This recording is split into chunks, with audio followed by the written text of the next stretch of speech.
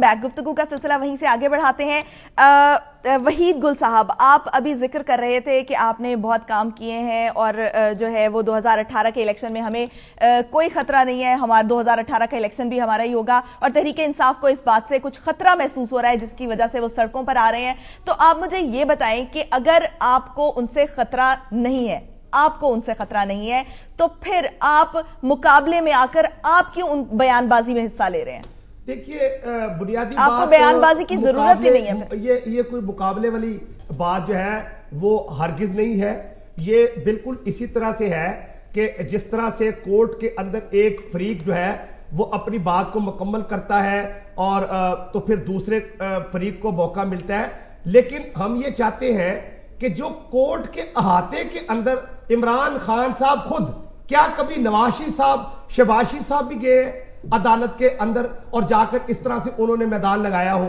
اب مجھے بتائیں نا، بات تو یہ ہے کہ کیا کبھی بلاول بھٹو صاحب بھی آئے ہیں یا اپنا کورٹ کے احاطے کے اندر اس طرح سے بات کی گئی ہو یا کوئی اور قومی لیڈر بھی اس طرح سے آ کر عدالت کے احاطے میں کوشش کرتا ہے کہ عدالت لگانے کی۔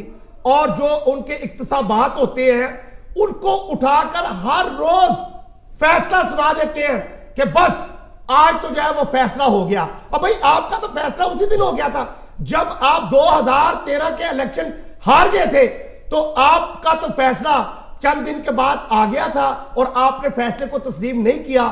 پھر آپ نے جوڈیشل کمیشن بنانے کی بات کی۔ کبھی آپ نے کہا کہ پینتیس پنکچر جو ہیں وہ الیکشن کو لگے ہیں۔ کبھی آپ نے کہا کہ سارا الیکشن جو ہے وہ انجرڈ ہے۔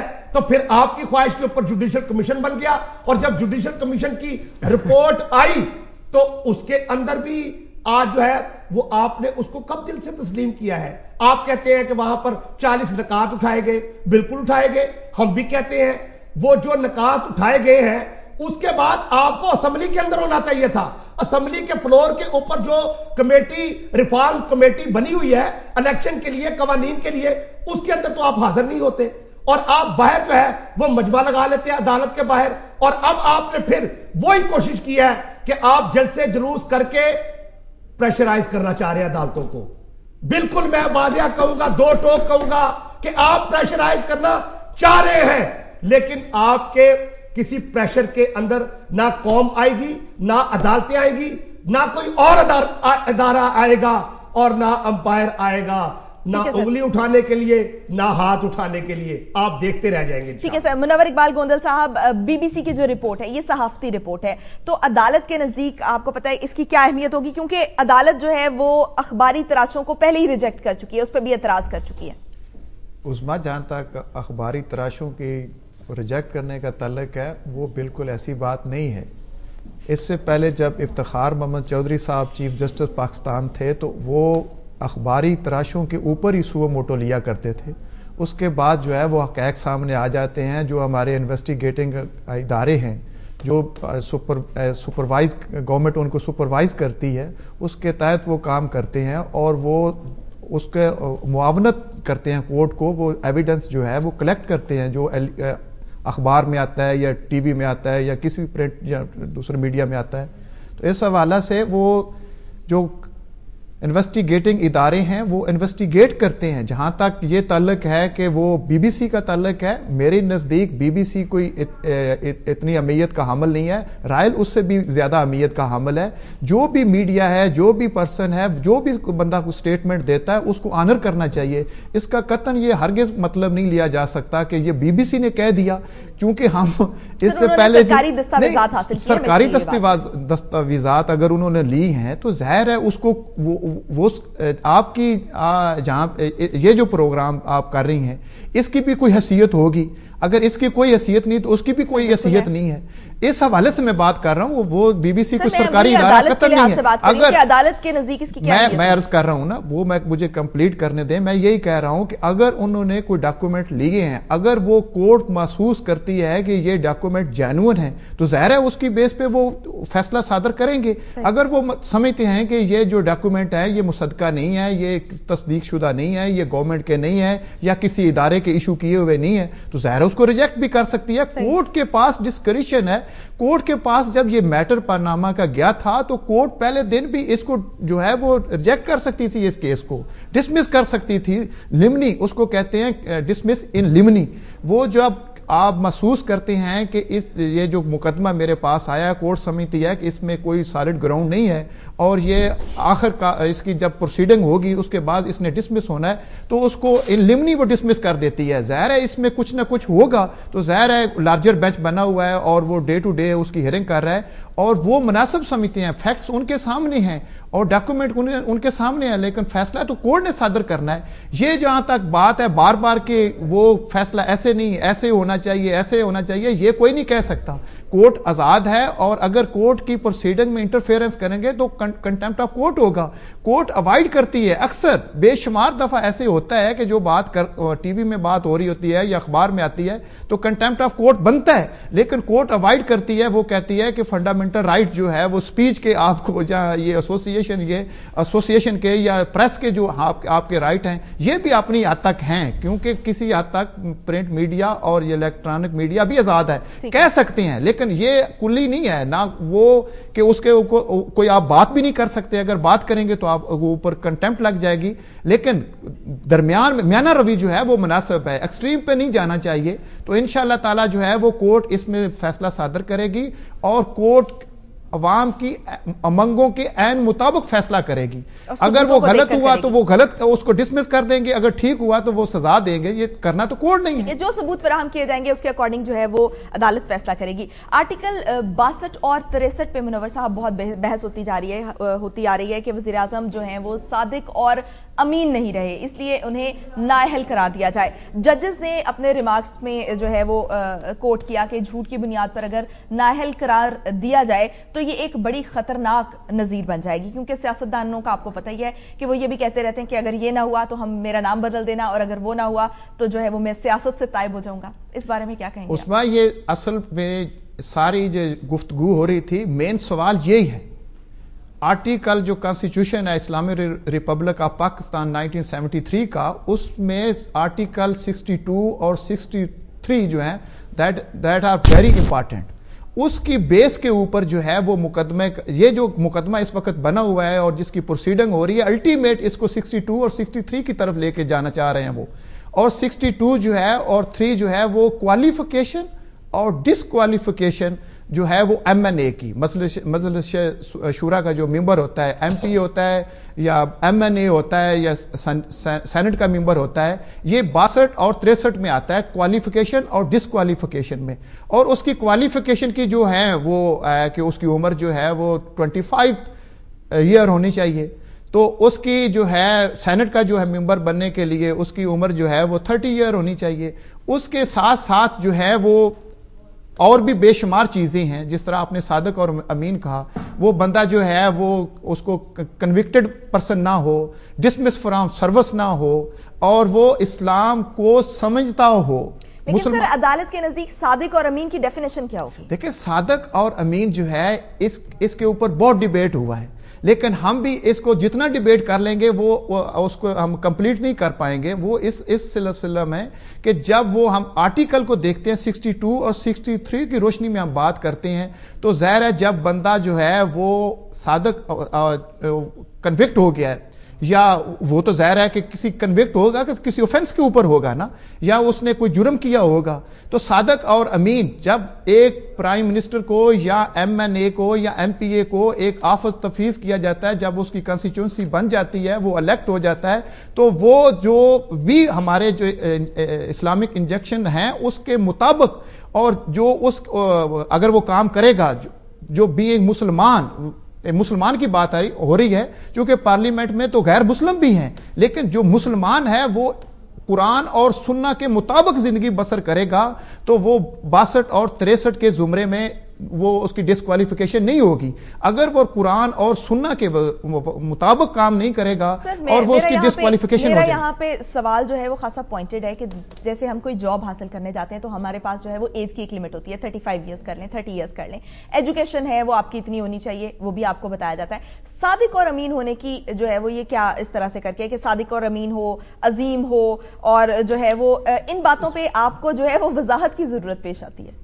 اس میں میں گزارش جی، کرتا جی، ہوں بات یہ ہے کہ جب بھی ملک کے اندر ڈکٹیٹرشپ آتی ہے تو وہ ہتھیار کے طور کے اوپر کئی چیزیں ایسے انٹروڈیوس کروا دیتی ہے کہ جو ان کے پاس ہتھیار ہو کہ وہ جب چاہے جس کو چاہے وہ ڈسکوالیفائی جو ہے وہ کر دے۔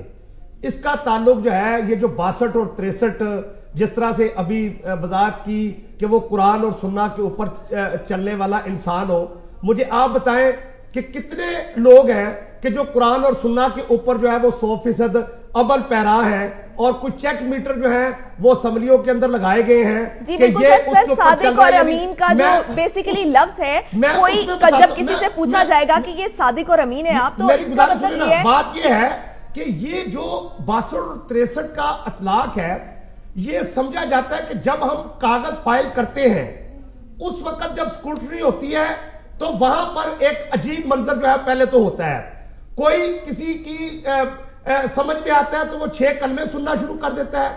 کوئی کہتا ہے کلو اللہ، سنائے۔ ذرا سن لے، ذرا بات بڑی مزیدار ہے۔ اس کے بعد جو ہے، وہ آج تک کوئی تاریخ نہیں ہے کہ کاغذ جمع کراتے ہوئے جس کو کلو اللہ وحد نہ آتی ہو، وہ اس کو ڈسکوالیفائی کر دیا گیا ہو۔ بنیادی مقصد اس کا، اس شک کا یہ تھا کہ جس طرح بتایا کہ صادق اور امین ہونا یہ ہے کہ اگر وہ اپنے عہدے کے اوپر موجود ہے یا اس سے پہلے کوئی اس نے سرکاری معاملے کے اندر جو ہے بدھیانتی کی ہے اور وہ ثابت ہوئی ہے اس کے اوپر، تو وہ جو ہے، وہ اہل نہیں ہے ممبر صوبائی اسمبلی بننے کا یا ممبر نیشنل اسمبلی بننے کا، prime minister of Pakistan, chief minister of Pakistan یا منسٹر بننا تو بات کی بات ہے۔ اگر کوئی اس موقع کے اوپر بھی یہ ثابت کر دے کہ یہ فلاں شخص جو ہے، فلاں معاملے کے اندر سزا یافتہ ہے تو وہ رکن جو ہے اس کے کاغذات جو ہے وہ کسی تعین کے لیے پاس نہیں ہوتا لیکن سر اس کی جگہ پھر سزا یافتہ یا کوئی اور آپشن بھی رکھی جا سکتی تھی۔ ایگزیکٹ صادق اور امین کرنے کا مطلب یہ تو نہیں ہو سکتا کہ میں نے کبھی زندگی میں جھوٹ نہیں بولا ہوگا۔ یہ یہ دیکھیں نا یہ تو ایک ایسی بات ہے۔ میں نے آپ کو بتایا نا کہ یہ ہتھیار کے طور سے یہ کلچرل ڈیفرنس میں بھی آ جاتا ہے۔ میں تھوڑا سا وحید صاحب کو وہ دیکھیں کہ صورتحال قرآن اور سننا کی بات ہو رہی ہے۔ صادق اور امین جو ہے وہ اسپیشلی یہ کانسٹیٹیوشن میں یہ ایڈ کیا گیا تھا ضیاء الحق کے دور میں. جی اور صادق اور امین جو ہے وہ ہم اس کو لیں گے. میں اختلاف کروں گا وحید صاحب سے اس بات پہ. صادق اور امین جو ہے وہ قرآن اور سننا کے مطابق لیں گے. اور اس کو اگر وہ مناسب سمجھتے ہیں کہ ہم اور قرآن اور سننا کے مطابق کام نہیں کر سکتے تو اس کو نکال دیں. تو جب تک وہ قیم ہے اس میں تو آنریبل سپریم کورٹ کے ایک جج صاحب نے بھی فرمایا تھا، لیکن بعد میں انہوں نے کہا کہ مجھے نہیں کہنا چاہیے تھا۔ انہوں نے بھی کہا کہ صادق اور امین کی بات آئے گی تو ساری اسمبلی ایک آدھ کے علاوہ فارغ ہو جائے گی۔ تو ہمیں جو ہے وہ قانون کا احترام کرنا چاہیے۔ ایک طرف ہم یہ کہتے ہیں کہ آئین کا قانون کا احترام کرنا چاہیے، اور دوسری طرف ہم وائلیشن کرتے ہیں۔ اس پہ میرا اختلاف ہے ان سے کہ صادق اور امین ہونا چاہیے۔ جو پارلیمنٹ میں ہے وہ اس کو صادق اور امین ہوگا تو جو بائیس کروڑ عوام ہے وہ ان کو دیکھ کے صادق اور امین بن جائے گی۔ اگر وہ ہمارے نمائندے جو ہیں وہ صادق صادق اور امین ہونا ہے وہ نبی پاک صلی اللہ علیہ وسلم کی جو ہے وہ صفات میں سے ایک ہے اور انسانیت کا ایک بڑا خوبصورت معیار ہے۔ لیکن ان اصلاحات کی جو ایک عدالتی جو تعریف ہے وہ بڑی غیر واضح سی ہے۔ لیکن اس میں تو دیکھیں جب تک وہ بندہ عدالتی عدالتی اگر اس کو ہم چیک کریں تو وہ صورتحال یہ ہے کہ کورٹ جب کسی کو کوئی سزا دیتی ہے تو اس کے بعد جو ہے وہ وہ ڈسکوالیفائی کرتا ہے اس آفس سے. اگر وہ وہ صادق اور امین نہیں رہتا. اگر وہ صادق اور امین کا جو ایگزیکٹ لفظ ہے اس میں وہ صداقت ہے. اس میں سچا ثابت ہونا ہے. کہ صادق اور امین وہ اس کورٹ نے کورٹ نے ڈکلیئر کرنا ہے. کورٹ کے سزا یافتہ ہو. کورٹ کہے گی کہ کہ میں کسی کے اوپر الزام لگا دوں اور اس الزام کو ثابت نہ کر سکوں کسی کورٹ میں دوں صاحب ایک منٹ وہی بات آپ آپ والی آپ صحیح کہہ رہے ہیں تشریح اس کی صحیح کر رہے ہیں لیکن میرا کہنے کا مقصد یہی ہے کہ جب تک کورٹ جو ہے وہ ڈکلیئر نہیں کرتی کہ یہ- یہ بندہ صادق اور امین نہیں رہا تو اس وقت تک وہ اپنا آفس جو ہے اس بنیاد پہ وہ خالی نہیں کر سکتا یا اس کو آپ ڈی سیڈ نہیں کر سکتے۔ جب وہ صادق اور امین کورٹ اس کو سزا دے گی تو وہ ڈی سیڈ سر ڈی سیڈ ہو سزا جائے یافتہ گا ہونے کا مطلب یہ ہے کہ وہ صادق اور امین نہیں ہے۔ نہیں صادق اور امین کا مقصد دیکھیں نا ہم امین وہ دیکھیں نا میری نہ وہ صادق رہا جو وہ بات کہہ رہا تھا نہ وہ سچا رہا اور نہ جو امانت اس کے ذمہ دی گئی تھی نہ وہ امانت دار رہا تو صادق اور امین تو نہ رہا۔ اگر کورٹ نے اس کو جو ہے وہ سزا یافتہ سزا ہونے کا مقصد ہی یہ ہے کہ جو بھی اس کے خلاف مواد تھا وہ ثابت ہو گیا۔ جو بھی پٹیشنر سائڈ پہ اس کے خلاف الزامات لگائے جا رہے تھے وہ درست قرار پائے ہیں۔ لہٰذا وہ صادق اور امین نہیں رہا۔ لیکن میں تھوڑا سا اس گراؤنڈ پہ میں تھوڑا سا ڈیفر کرتا ہوں۔ کہ صادق اور امین کا ہم قانون کے مطابق ایک بات کر رہے ہیں۔ اس وقت میں پاناما کی بات نہیں کر رہا، میں جنرل بات کر رہا ہوں کہ صادق اور امین کا اگر اس میں یہ ایڈ کیا ہوا ہے تو پہلے ہی جب الیکشن کنٹیسٹ کرتے ہیں تو ماشاءاللہ جس طرح یہ وہی صاحب نظر آ رہے ہیں کہ ہمیں وہ صادق اور امین کی لفظ کی اس میں ڈالنے کی ضرورت پیش آئی ہے۔ جب اس وقت کے حکمران نے ڈالا تھا، تو اس کے بعد والے جو سمجھتے تھے کہ یہ نامناسب بات ہے، تو اس کو نکال دیتے۔ وہ تو ڈکٹیٹر نے بھی نہیں نکالا۔ بعد والے میں جو مشرف تھا وہ بھی آیا سکسٹی ٹو، سکسٹی تھری کو، انہوں نے اس میں قانون سے اس کو ڈیلیٹ نہیں کیا۔ لہٰذا اب چاہیے کہ ہمیں قرآن اور سننا کے مطابق زندگی گزاریں اور ہمارے لیے آسانیاں ہوں گی۔ جس طرح کی ہماری دنیا میں جگ انسائی ہو رہی ہے پناما والی کہ ڈس آنےسٹ ہیں۔ میں آپ کو ایک انٹرسٹنگ بات بتاتا ہوں۔ لیکن یہ بھی تو کہا جاتا ہے کہ بعض اوقات جو جھوٹ ہوتا ہے جھوٹ بولنا بھی مسلحتاً آپ جھوٹ بول سکتے ہو۔ جھوٹ بولنا سچ سے بہتر ہوتا ہے۔ نہیں مسلطن کا۔ یہ کوئی جنگ لگی ہوئی ہے؟ جنگ تو نہیں ہے وہ تو حالات اس حالات میں- ہے کہ جب آپ مناسب۔ سمجھے کہ یہ میں اگر بات کروں تو میرے بات کرنے سے فساد کھڑا ہو جائے گا کسی کی جان چلی جائے گی تو اس وقت آپ جو ہے وہ کمپرومائز کرتے ہیں۔ سر ادروائز جو ہے وہ کنڈیشنز سچ تو اپلائی ہو رہی ہیں نا۔ نہیں اب یہ نہیں دیکھیں جھوٹ تو جو ہے نا وہ سخت ممانت ہے اسلام کے اندر جو ہے۔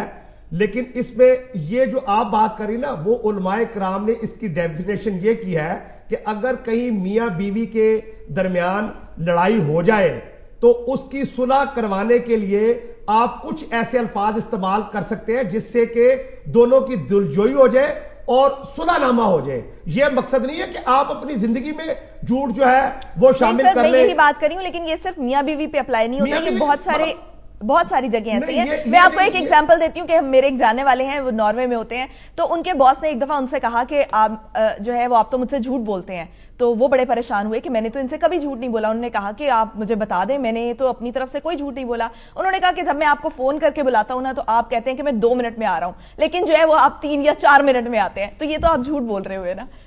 تو کلچرل ڈفرنس بھی ہے۔ مطلب ہم کئی دفعہ دو منٹ تین منٹ کہتے ہیں لیکن ہم اس کو پانچ منٹ دس جھوٹ تو وہ بھی ہے۔ یہ کوئی فکرے جو ہے نا، وہ ہماری زندگی میں جس کو کہہ لیں کہ رچ بس گئے ہیں، میں آپ کو کل ہی ایک واقعہ سناتا ہوں۔ ایک نوجوان جو کہ امریکہ میں رہنے والا ہے، وہ کہتا ہے کہ میری جو زندگی ہے، اس کے اندر تبدیلی کس طرح سے آئی کہ میرے پاس ایک امریکن آیا اور میں نے اس کو موبائل سات سو ڈالر کے اندر جو ہے فروخت کر دیا۔ وہ گیا اس سے موبائل جو ہے وہ پانی میں گر گیا اس نے آ کر بتایا کہ مجھ سے یہ پانی میں گر گیا ٹوٹ گیا۔ کہتا میں نے اس کو ایک فارم دیا کہ آپ اس میں سے اس کے اوپر لکھ دیں کہ یہ جو موبائل ہے میں لے کر گیا اس کے اندر خرابی تھی۔ تو اتنا آپ لکھ دیں تو میں آپ کو نیا موبائل دے دیتا ہوں۔ صحیح۔ تو کہتا کہ اس نے مجھے کہا کہ میری ویلیوز جو ہے وہ آپ نے سات سو ڈالر لگائی ہے کہ میں سات سو ڈالر کے لیے جھوٹ بولوں۔ تو وہ کہتا ہے کہ میری زندگی اس دن تبدیل ہو گئی کہ بھی میں ایک مسلمان ہوتے ہوئے اس کو یہ پیشکش کر رہا ہوں اور ہزاروں ایسی چیزیں کر لیتا ہوں، لیکن یہ ایک مسلمان نہیں ہے۔ اس کے باوجود یہ جھوٹ بولنے کے لیے تیار نہیں ہے۔ تو وہ پابند و سلاست مطلب اس نے کہا اپنی زندگی کو کہ میں نے اس دن سے اپنی زندگی تبدیل کر لی اور میں نے کوشش کی کہ میں ایک بہتر مسلمان بن کے دکھاؤں اور اپنی زندگی میں سے جھوٹ جو ہے وہ نکالوں۔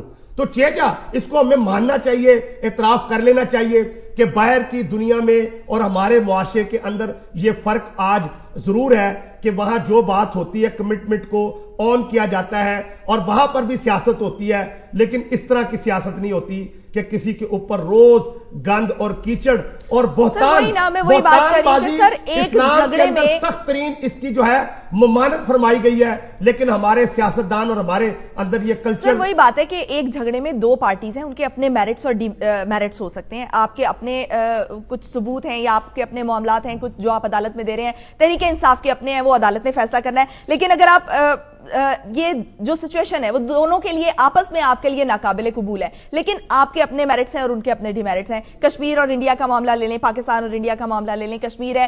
کشمیر میں پاکستان کے اپنے کچھ میرٹس ہیں اور ڈی میرٹس ہیں اور انڈیا کے اپنے ہیں۔ تو یہاں پر جو ہے وہ یہ کلچرل ڈیفرنس ہی آ جاتا ہے نا۔ نہیں، یہ بات نہیں ہے۔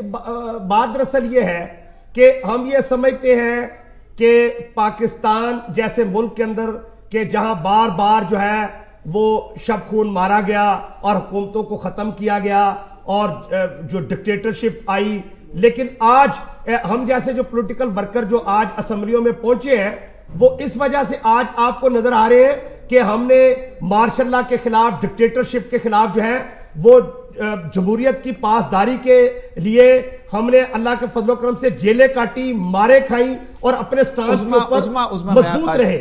جس کی وجہ سے آج آپ دیکھ رہے ہیں کہ تبدیلی آئی ہے۔ پیپل پارٹی نے بھی بہت کچھ جو ہے وہ سیکھا ہے اور ہم نے بھی بہت کچھ سیکھا ہے۔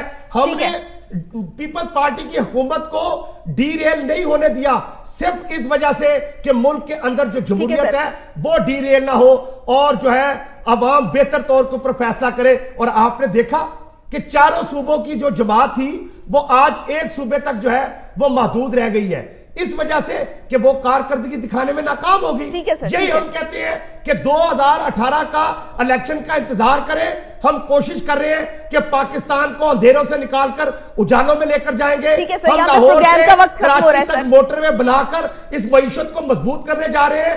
ہم نے اللہ کے فضل و کرم سے چائنا کوریڈور مکمل کرنا ہے۔